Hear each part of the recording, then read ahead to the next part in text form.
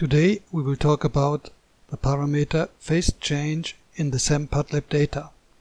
The face change describes the difference between your face at address angle and your face at impact angle.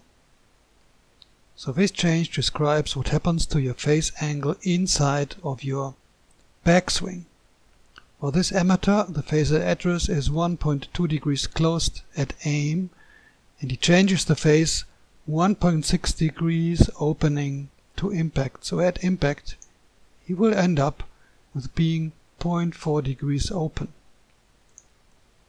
These types of compensations where you change the face slightly from aim to impact are quite common also on the PGA Tour. However, the face change should always be as consistent as possible so that for a consistent aim you can also end up with a consistent face at impact.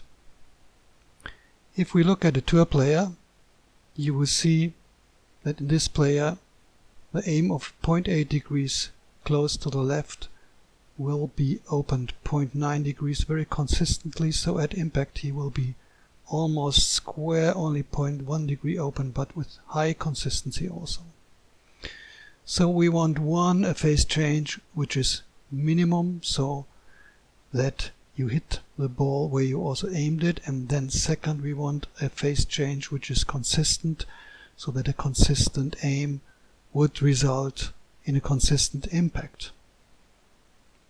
Thank you for watching this video. For more information you might check our website www.sciencemotion.com or you might subscribe for our YouTube channel.